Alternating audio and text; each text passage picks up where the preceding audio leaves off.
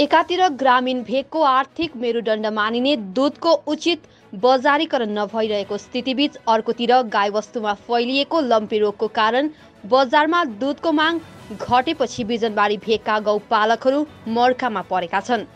दुधको उचित बजारीकरण गरिदिने माग पनि उनीहरूले सम्बन्धित निकाय समक्ष गरिरहेका छन्। हाम्रो आर्थिक मेरुदण्ड भनेको नै दुध व्यवसाय हो। यसैको आडमा हाम्रो जीविका चल्ने गर्दछ। दुधको उचित बजार नभएकोले गौपालकहरू हतोत्साहित बन्नु स्वाभाविक पनि हो भन्दै यस सङ्कटलाई हल गर्न उचित कदम उठाउनु पर्ने सरकारप्रति स्थानीय गौपालक देवकुमार छेत्रीले अनुरोध गरिरहेका थिए। हो आय स्रोत भन्दाखेरि हाम्रो अहिले चाहिँ अब हाम्रो केही नोकरी चाकरी छैन। पहिलो नम्बर भनेको हाम्रो दुध हो यहाँबाट जाने भनेको। अहिले अब प्रकृतिको प्रकोपले गर्दाखेरि कुनै पनि अनाजहरू अथवा खेती कुनै पनि नभएकोले गर्दा दुध चाहिँ अलिकति भए उत्पादन गरिँदै थियो। त्यो पनि एक दिन जाने एक दिन नजाने। अब यो एउटा भाइरल रोग आएको हल्ला मात्रै छ यहाँनिर हाम्रोमा चाहिँ छैन। तरै पनि हाम्रो दुधहरू अब जानु सकेको छैन। त्यसले गर्दाखेरि हामीलाई एकदम समस्या चाहिँ अब बढेर जाँदैछ। त्यसले त्यो समस्याको समाधान कसरी हुन्छ अब? यो चाहिँ अब अब हामीले आफैले चाहिँ गर्ने कुरो आएन। यहाँनिर पशु जति पनि अब विभागका अब डक्टरहरू भए होइन कर्मचारीहरू भए उहाँहरूले अलिकति निरीक्षण गरिदिए अथवा कुनै पनि भ्याक्सिनहरू दिए भएदेखि गरिदिए अझै राम्रो हुने थियो। तपाईँहरू नि अहिले यहाँनिरबाट नि कति जस्तो दुध चाहिँ बिक्री गराउनु हुँदैछ यो एउटा हामीहरू सोसाइटीबाट? एक सौ साठी लिटरसम्म जाँदैछ हाम्रो। यसबाट। हजुर। तब तपाईँहरू एक सौ साठी लिटरको यहाँबाट खपत गराउनुहुन्छ नि? पर लिटर चाहिँ कसरी पाउनु हुँदैछ तपाईँ? पर लिटर हामीले अहिले पहिला चाहिँ अब अलिक राम्रै रेट थियो अहिले हामी तेत्तिस रुपियाँले पाउँदैछौँ। त्योभन्दा बढी चाहिँ छैन। यो नि बिजनबारी क्षेत्रलाई नै एउटा दुध उत्पादन धेरै मात्रामा गरिन्छ है। यहाँबाट विशेष जोरताङ पनि लगिन्थ्यो नि। अहिले यो दुध चाहिँ कता खपत गराउनु हुँदैछ अहिले? चाहिँ हाम्रो चाहिँ अब पहिला चाहिँ जोरथाङ सिक्किम कर्फेक जान्थ्यो यहाँबाट दुध। अब अहिले त्यो लकडाउनले गर्दाखेरि चाहिँ अब अलिक त्यसलाई अलिक अप्ठ्यारो भयो। त्यहाँनिर अब हाम्रो गाडीहरू जानु नपाउने भयो भनेर अब बन्द हुनाले गर्दाखेरि अहिले चाहिँ हाम्रो यहाँको दुध चाहिँ सिधा दार्जिलिङ जान्छ। दार्जिलिङमा तपाईँको सिङमारीदेखि लिएर गएको पर घुमसम्ममा वितरण हुने रहेछ। तर हाम्रो रेट चाहिँ जो छ हामीले पाउने रेट गलाले पाउने भनेको चाहिँ तेत्तिस रुपियाँ पर लिटर हजुर। हामीले यहाँबाट पाइँदैछ। अब सिक्किममा चाहिँ पहिला पाउँदाखेरि तपाईँको अडतालिस रुपियाँ अडतालिस उन्चास रुपियाँ सुन हामीले पाइन्थ्यो। अब यसमा त हामीलाई घाटै छ। के चाहनुहुन्छ तपाईँहरू चाहिँ यो विशेष यो दुध चाहिँ? दुधको व्यवस्था राम्रोसँगले सङ्कलन भएर राम्रो दुध भएपछि हामीले राम्रो जग्गामा पुगोस् हामीले राम्रो रेट पाउनु पाउ- पाओस्। प्रति लिटर हामीले बेसी नभने पनि चालिस रुपियाँले चाहिँ पाउनु पर्ने हो। किनभने अरू चिज पनि त महँगाइ छ। उता दाना पानीको पनि अलिक धेरै महँगोले गर्दाखेरि हामीले दुध चाहिँ अब पानी सरह भनौँ न पानी एक लिटर पानीको पच्चिस रुपियाँ पर्छ भने हाम्रो दुधको दाम चाहिँ त्यहाँ तिस रुपियाँ मात्रै पर्दैछ। तपाईँहरू है पुनः जसरी सिक्किमसँग सिक्किममा लगेर तपाईँहरू दुध बेच्नु हुँदै थियो नि है त्यस्तै गर्नु के चाहनुहुन्छ कि कस्तो के छ? हामी चाहिँ भइसके चाहिँ अब अब कन्टिन्यू जानु पर्यो। जहाँ गए पनि दुध चाहिँ कन्टिन्यू जानु पर्यो। सिक्किमै गए पनि कन्टिन्यू जानु पर्यो। जस्तै आज गयो भोलि बन्द भइदियो भने हामी फेरि बिथानको हुन्छौँ। हामीले दुध कहाँ लाने? हाम्रोमा कुनै डायरी अब यहाँबाट कुनै एउटा एउटा फ्याक्ट्रीहरू छैन दुधको। अब केही पनिरहरू बनाउने अथवा घिउ बनाउने केही छैन। हाम्रो दुध चाहिँ अब पानी सरह हुन्छ। अर्कोतिर लम्पी जस्ता रोगहरू पहिले पहिले पनि गाई वस्तुलाई लाग्ने गरेको जनाउँदै दुध उमालेर खाँदा नै खतरा नहुने अनुभवी किसान एवं मार्क्सवादी कम्युनिस्ट पार्टीका क्षेत्रीय नेता शिवकुमार राई बताउँछन्। यसबारे पशु विशेषज्ञहरूले उचित मार्गदर्शन गरिनुका साथै सरकारले पनि दुधको उचित बजारीकरणको व्यवस्थापन गरिनुपर्ने दिशामा पहल गर्नुपर्ने उनको भनाइ थियो। यो रोग त लम्पी भन्ने रोग लागेर अहिले अलिक प्रतापसम्म जारिआएको छ। र यो रोग चाहिँ मेरो विचारमा चाहिँ म आज सत्तरी वर्ष पुगेँ। योभन्दा अघि पनि यो रोग चाहिँ थियो। यसलाई चाहिँ पिड्के भन्थ्यो। तर यो चाहिँ त्यति बेलाको समयमा चाहिँ के लाग्थ्यो भने जो कमजोरी गाईबस्तु छ त्यसलाई भेट्थ्यो। तर यो यसको दुधले चाहिँ त्यस्तो असर गरेको देखिएन किनभने दुध पकाएर खाएपछि जम्सर त मर्छ। यो रोगलाई रोकथाम गर्नुको निम्ति चाहिँ घरेलु औषधिहरू पनि गरिन्थ्यो। गाईलाई चिराइतोले नुहाइदिने त्यही चिराइतो खुवाउने के जातिहरू यस्तो त्यो बेलामा आजभन्दा लगभग चालिस वर्ष अगाडि त्यस्तो खालको प्रकारले गरिन्थ्यो र यो रोगलाई नै त्यत्रो ठुलो रोग चाहिँ मानिएको थिएन। वर्तमान समयमा त धेरै मऱ्यो भन्छ। यो विषय चाहिँ अलिकति चिन्ताजनकै छ। अ, जुन दुधको समस्याले कृषकहरू धेरै चिन्तित पनि देखिन्छ है। वास्तवमा हाम्रो दुधको खपत नै भइरहेको छैन। धेरै मात्रामा दुध उत्पादन हुन्छ र पनि बिक्री पट्टा पनि छैन नि है। वास्तवमा के भन्नुहुन्छ?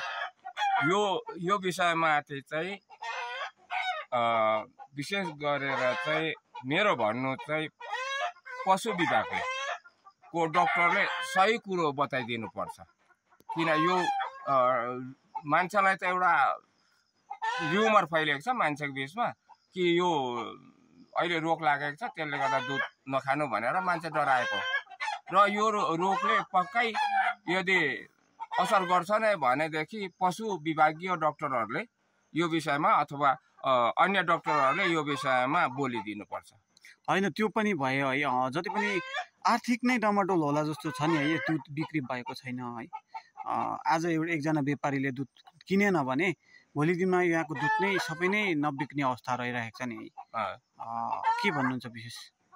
अब यसमा त भन्नु के भन्नु र यसमा अब जिटिएको क्षमता छैन नै होला त्यत्रो यसको उयो गर्ने व्यवस्था गर्ने व्यवस्थित गर्ने र जनतामाथि परेको पिरमर्कामाथि अ, कुरा गर्नु जाँदाखेरि भरे त्यसलाई राजनैतिक कुरा भन्छ।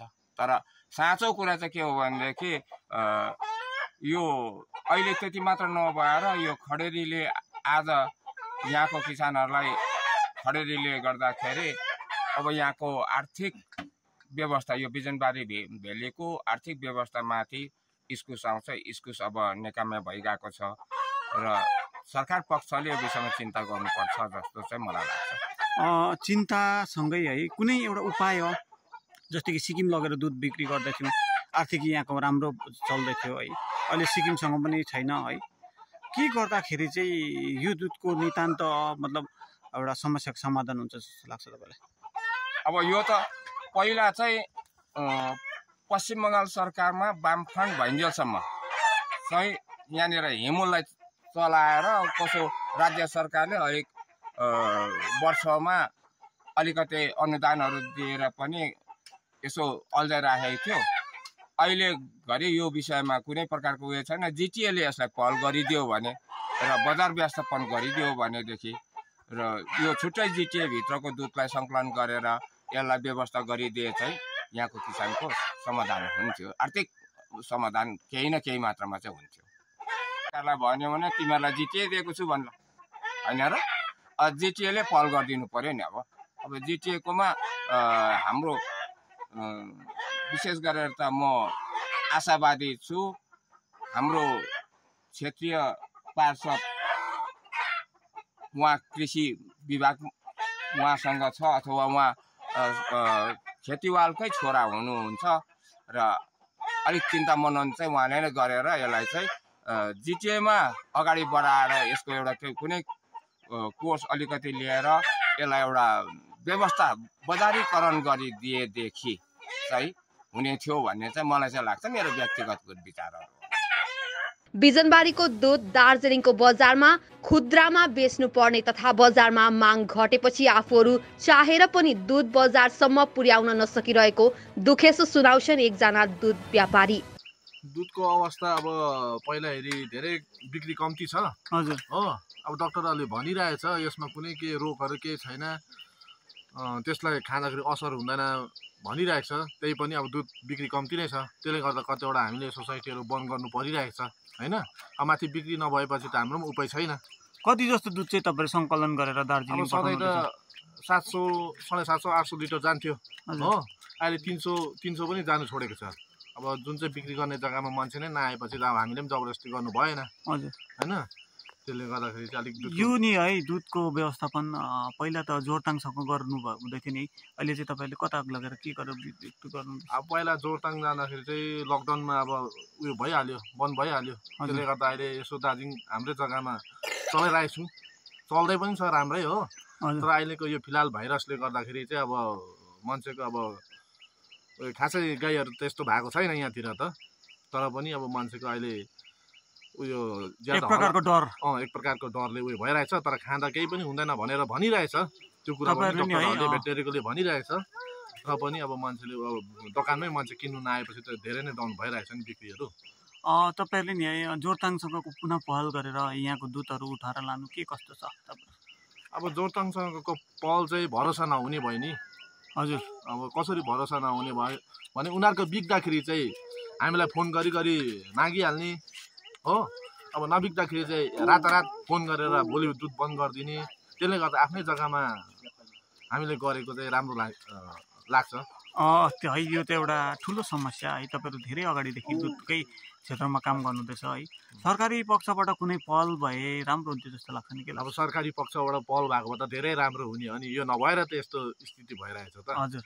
के भन्नुहुन्छ? विशेष यो दुध चाहिँ तपाईँहरू जहाँबाट उठाउन लानुहुँदैछ नि यो एकदम शुद्ध छ।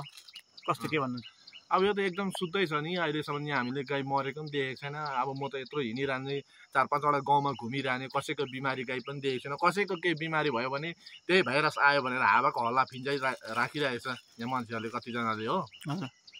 अन्त त्यसले गर्दा अब त्यो हल्लामा उयो नगरिदिने होइन? हजुर। हाम्रो दुध त्यस्तो केही उयो भएकै छैन। हाम्रो गाउँ बस्तीमा त्यस्तो उयो भाइरस देखेको पनि छुइनँ मैले अहिलेसम्म। स्मरण रहोस् दार्जिलिङ पुलबजार खण्डका प्राय जसो ग्रामीण क्षेत्रहरूमा दुधको व्यवसायमा जीवन धान्नेहरूको सङ्ख्या धेर छ।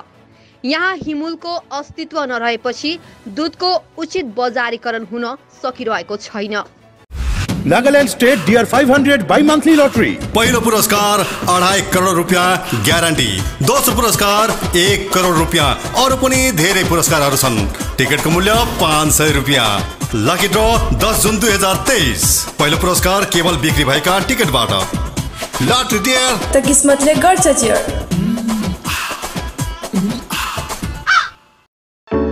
Tiana lodge.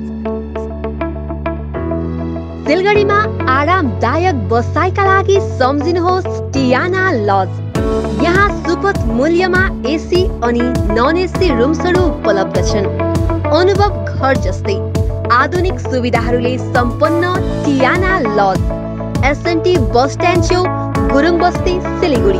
संपर्क गर्नुहोस् eight zero one six four two five nine four three nine zero nine one six two zero eight five eight